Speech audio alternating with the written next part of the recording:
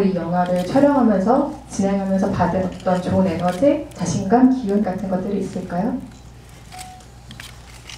그 제작 보고회 때 발, 제작 발표회 때또 얘기 들었는데 어 저는 사실은 이제 음, 얘기하기 편하게는 좀 쉬러 간다는 느낌으로 현장을 왔었어요. 그래서 뭐 옥자는 이제 뭐 놀러 왔냐 대충 한번 갔냐 뭐 이런 식으로 농담도 하고 그러셨는데 어 이게 연기를 하다 보면은 굉장히 그 어, 열심히 준비한 작품이 있는가 하면 좀 말을 조금만 잘못해도 이상하게 들릴 수가 있는데 좀 편, 편하게 했다고 할게요. 네.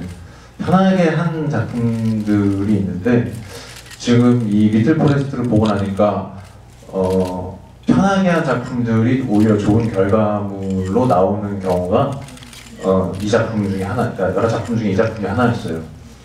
그러니까 어떤 많이 열심히 한 작품은 오히려 제 마음에 안 들 때가 있고 아 이 작품은 되게 기분이 좋다 이런 게 있었는데 거기에 힘은 그 감독님도 감독님이지만 이 테리 씨나 기주 씨의 역할이 진짜 컸던 것 같아요.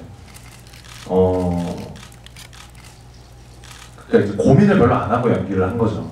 그러니까 이 친구들이 주는 에너지가 너무너무 좋다 보니까 이게 자연스럽게 재하가 회원을 얘기하게 되고 그 다음에 회원이 재하에게 얘기하는 것처럼 이렇게 개인적인 얘기들을 나누는 게 그런 식으로 나눠졌던 것 같아요. 그래서 이 무대 인사를 다니다 보니까 사실 그 테리 씨도 좀 오랜만에 이렇게 스케줄을 같이 하는 건데 촬영이 끝난 지가 좀 됐으니까 근데 무대 인사를 하면서 더 느끼는 건데 아 진짜 이 친구가 굉장히 좋은 친구구나 진국이구나 민망하라고 하는 소리예요. 어, 그런 걸 정말 더 많이 느꼈어요. 그래서 아 내가 이 친구랑 계속 이렇게 얘기하고 하다 보니까 좋은 연기가 나왔구나. 그 말은 뭐냐면 진짜 우리가 처음 만났을 때 사적인 얘기들 굉장히 많이 나눴거든요. 뭐 김숙희는 집안 얘기도 집안 사도 얘기할 정도로. 근데 그런 얘기들이 재하와 회원의 관계를 다지는 되게 큰 역할을 했다는 거를 이 완성된 영화를 보고 알았어요.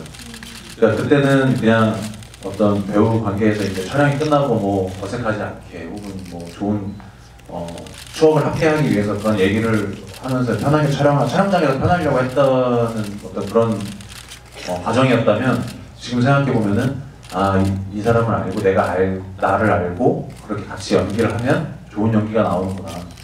많은 작품 안에서 텍스트 안에서 많은 고민을 안 해도 예 그런 연기가 나오는구나라는 거를 알게 됐어요. 그 질문이 뭐였죠? 회복한 자신감 같은 거나 이 영화를 통해 얻은 좋은 기운에 대해 여쭤봤는데 그, 그 좋은 기운. 네, 충분히 그렇죠? 대답해 주신 어, 것 어, 같아요. 대답이 됐죠? 네, 어, 감사합니다. 네.